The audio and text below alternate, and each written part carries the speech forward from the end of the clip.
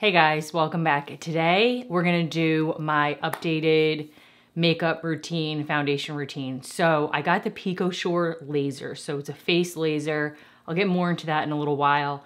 And I got the first one done and it's really lightened all of my melasma and hyperpigmentation, my dark spots. If you've been watching me for a long time, you know that I've done a bunch of videos on that full coverage routine, etc. So the first session has really helped lighten any pigmentation, any scarring, anything like that. Because I want to protect my skin and to keep the results looking good. I've been really liking, this is the Paula's Choice Youth Extending Daily Hydration Fluid. And it is SPF of 50. So it says it's a water light fluid minimizes the appearance of pores and helps prevent UV damage and signs of aging, which I would 100% agree with. I got a little sample of all the Paula's Choice sunscreens and skincare last summer and I really, really like them and I've been testing them all out and I think this one is one of my absolute favorites. And I like that you can just try them out in the little trial so you don't have to commit to buying a full bottle if you don't like it. I actually already put sunscreen on my chest area, so. What I like about this is it doesn't feel like a sunscreen. It is super lightweight. So you don't have like that feeling of the chemical sunscreen on you. It just feels like a very lightweight layer. So this is a product that is in my project pan for the year. This is the e.l.f. Halo Glow Liquid Filter and mine is in the shade 2 Fairlight, which is a little bit, a little dark for me right now because I'm super fair. This is like the fairest I am all year but I'm gonna insert some pictures of like before and afters with the laser so you can see just how powerful it is. So what it does is the laser breaks up everything deep in the layers of your skin and then like day by day slowly brings it up to the surface. And then like day like four or five, I started noticing that the hyperpigmentation would just kind of flake off. And I do still need another treatment. So I'm excited to see what those results bring. And of course, this summer I'm gonna be very careful to protect my skin. So I've been mixing these two together. I love this Maybelline Superstay Skin Tint. And then just because it's a little too dark for me right now, this is 120. And in the summer, I'm up to like 320. But I mix in, this is the L'Oreal Infallible 24 Hour Fresh Wear in 405. And I just do a little bit. Now that I'm not having to cover as much, I just like to do a little bit. So this is actually more than I typically do. You can always add more, which is great. And then I just do a tiny bit of the lighter shade. Just dab it on and blend that in. It's nice not to have to put on heaps of foundation. And you can just start with a little bit and then add. So with the laser, if you're curious, this is something that I've been thinking about doing for probably 10 years. I feel like it was never the right time. And if you get hormonal melasma, like if you've gotten it through pregnancy or just with like changes of hormones, even with like birth control, it happens to some people. This laser works so well. You have like acne scarring, works really well for that too. It does hurt. so I wasn't sure what it was gonna feel like. And once you're like there, it's not like I'm not the type of person like I'm gonna suck it up and be in pain and you know, kind of hold my breath and be like, yeah, I'm okay. It's definitely not pleasant. So they do offer you um, numbing cream, or at least where I did, they offered me numbing cream. So you can take it or leave it. I felt like the pain when she was doing it was like pretty bearable. It's a burning sensation, like you're getting, it's a laser, so it's hot. And the smell kind of stinks. It smells like burnt skin. But it was more so when she finished doing the passes and my skin was on fire and it started giving me anxiety because I was like, oh my God, why is it all of a sudden feel like my skin is burning so much? Like, is this gonna get worse? It's hard to explain. It was like like that. All of a sudden it started burning so bad. And she's like, all right, we're done. And Like, I can't leave like this. I feel like my face is on fire. I don't think I knew exactly what I was getting into. So I'm gonna do a little bit of the True Match Concealer. This is a newer one. It is, let's see, I think I'm in the shade 2N if you're curious. But I'm just gonna do a little bit under the eyes. I am using the NYX Bear With Me Concealer Serum that is in my Project Pan that I've been using a lot. But since my skin is pretty dewy already, I, I don't want it to be too greasy. So I'm just gonna go in here with a little bit. So then she put this lotion on me to like cool me down, which definitely helped. I remember walking out of there like laughing because I couldn't believe the burning sensation. And I was just like, please make it go away. Um, but it did go away. It went away probably like within, I don't know, 20 minutes or something like that. It went away.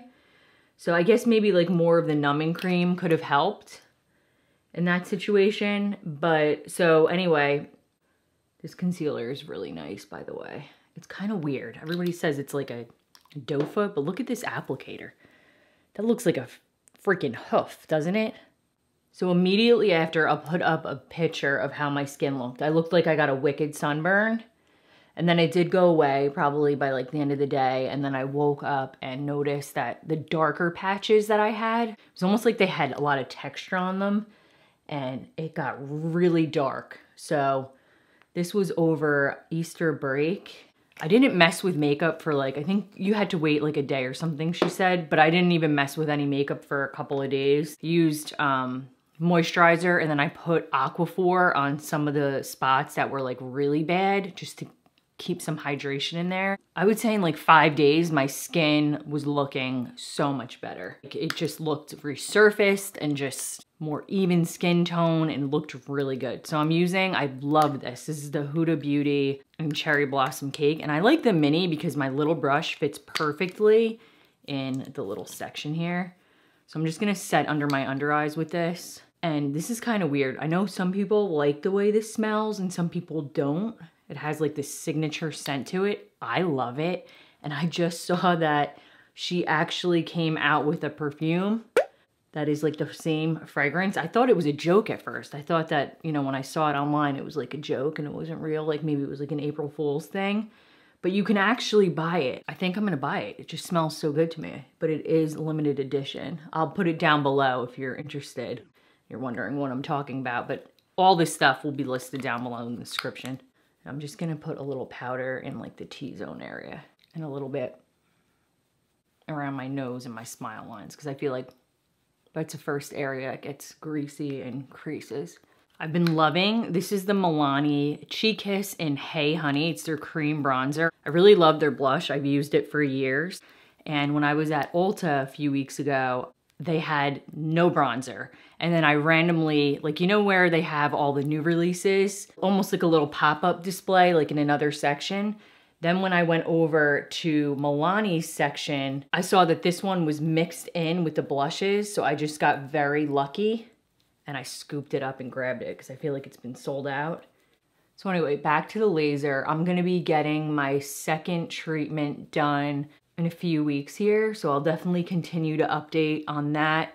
And I'm not sure, I think I'm just gonna need the two and I'll be good to go because I'm very happy with the results. But depending on like how deep the pigmentation is in your skin, that's how many sessions it'll take or whatever. They also use this laser for tattoo removal. So if you had a tattoo or something, it's that's the same type of laser. So if you've heard of that being painful, you know why. It burns, but it's like a good burn. Except when you leave and you're like, oh my God, what did I just do to my face? Please stop burning and then in 20 minutes it'll go away. So that's the main thing I was so worried about. I was like, when is this burning gonna stop? What did I just do? But I think it's totally worth it. And now that I know what to expect, I won't have so much anxiety next time. So for blush, I am mixing in, this is the Rare Beauty blush that I love, and I've been mixing Hope and Virtue to try to get like a really pretty pink peachy color. So I always do the dot of hope first, and then I go in and I do the more peachy, the deeper apricot tone second, like right over it. These are so pigmented, it's not even funny. And you guys know I prefer a brush to blend this out rather than using a beauty blender.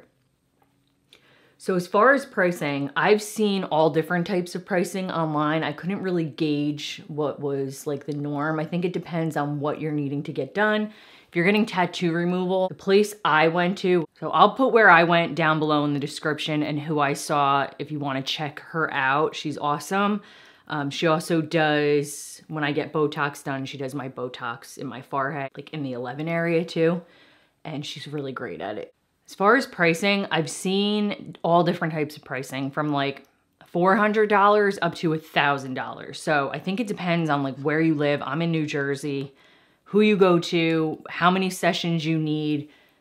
Again, I think that where I go offers, if you have like tattoo removal, they offer like a flat rate, like, all right, you're gonna need six sessions and you're gonna pay X amount of dollars. I wanna say for my laser, I paid was it 400 or was it 600? I have to, let me look. It's not cheap. So something that I've been wanting to do for a really long time. But I figured we could talk about it in case anyone else is struggling with the same thing and they were curious about it. All right, I'm gonna set my bronzer down. This is part of my Project Pan. I love this bronzer. It's the L'Oreal Lumi bronzer, but the pan is huge and I've been trying to use it up for a very long time. It's definitely I'd say like technically expired, but in all honesty, it's a powder product. It's fine.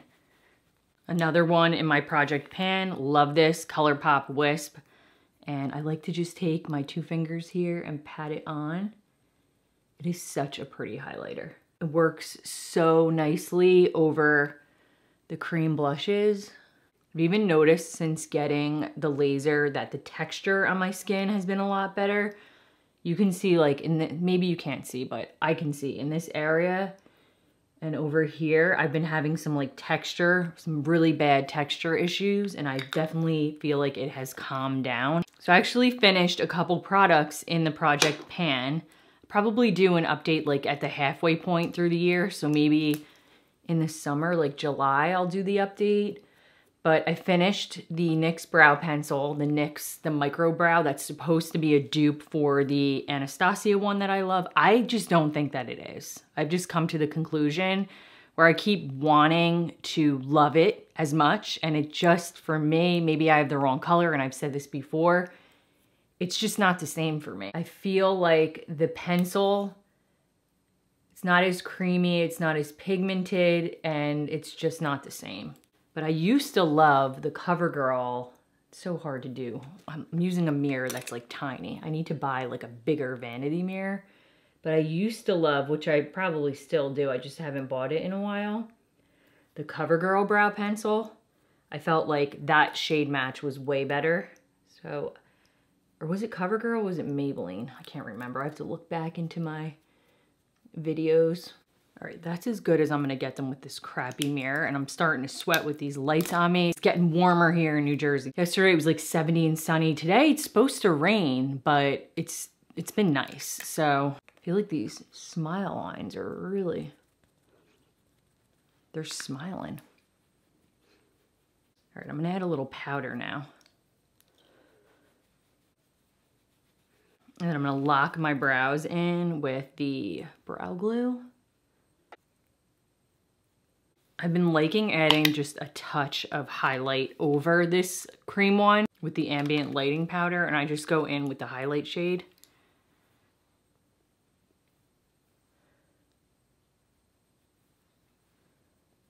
The Patrick Ta Major Dimensions, this is the two one. So this is more of like the purpley pinky mauve tones that I love. So I added this in my project pan because I feel like I spent a lot of money on it. It's a beautiful palette, but I was never reaching for it. So I've been loving these two shades for like every day. We're gonna go in with this one first.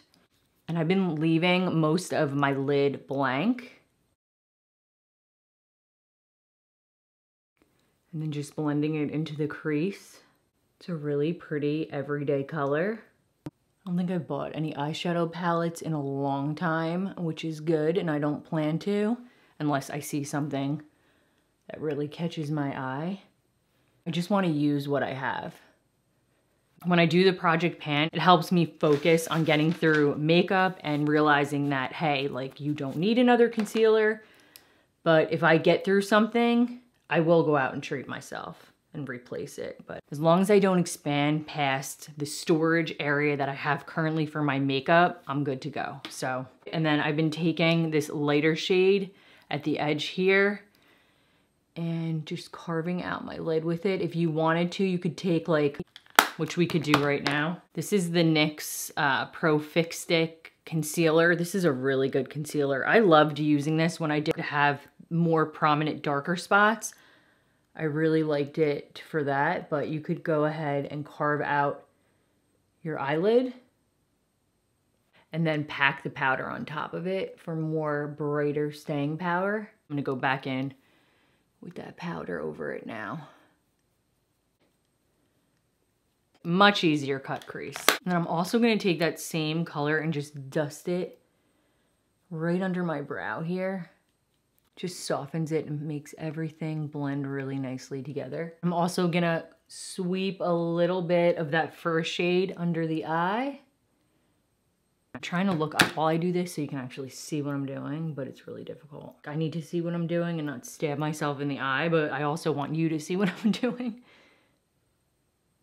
And I've also been taking a flat brush and dipping it into the shade right here and tracing it onto my top lash just to give a little bit of eyeliner and I go as tight as I can to my top lash. You can see what that does there. It makes a big difference, really makes your eyes pop. So as of late, that's been my go-to look with this palette. I love watching other people's videos to see like how they're using makeup and what kind of combinations they're coming up with for different palettes because I get bored. I always want to try something new. Something sometimes I don't think about it or I'm like, oh, I wouldn't have mixed those two colors together, whatever. I mean, this is a neutral palette. It's pretty simple, but still nice to get ideas. So just curling my lashes and I'm sticking with my Project Pan mascaras, which some of them aren't my favorite, but I just want to get through them. So the formula on this is great. This is the telescopic lift. I added it to my Project Pan because I felt like I've only used it a few times and I wanted to use it. It's a good mascara. Unfortunately, the way the bristles are and the wand just deterred me from wanting to use it a lot. It's not that I don't like the formula. It's a great mascara. I would just constantly be stabbing myself in the eye, and I still am. But I'm determined to get through it. And also, I felt like every time I would use it, I would miss and I would get mascara on my eyelid, and it was really frustrating. So I'm trying not to do that right now but I'm just not a fan. I've never been able to get on board with the wand. And I thought, okay, maybe the more I use it, the more I'll get used to it and I'll like it, but it just hasn't been the case. It's been like a month now. So after I finish it, unfortunately, because of how the wand is, I wouldn't repurchase it. However, I love the original L'Oreal Telescopic, such a good mascara. It's one of my absolute favorite like topper mascaras or layering mascaras. And I've done a bunch of videos on like my favorite mascaras and pretty much all drugstore. And that one is still, I would say, like in my top five mascaras of all time. So for the bottom lashes, I've been using the e.l.f. Lash and Roll, part of my Project Pan. This is a good mascara for the lower lashes, or at least for my lower lashes. I find that it works good. I have a hard time with mascaras and my lower lashes because if there's too much product on them, or if like you have a type of bristle that holds too much product, Mine get like really clumpy or it makes them look too spider-like. So I like this because it doesn't have a ton of product on the wand and the bristles are like really tight and small. So for lips, I'm gonna do a combo that's also my Project Pan. This is a ColourPop lip liner. Unfortunately, I don't even know that they sell it anymore because I think it was part of like a limited edition. It's called So Happy, but it is pretty much identical to the best friend, I think, it, or like BFF lip liner that they have. And I will definitely like link to it down below, but it's a really nice brown nude shade. And I always slightly overline, especially my top lip.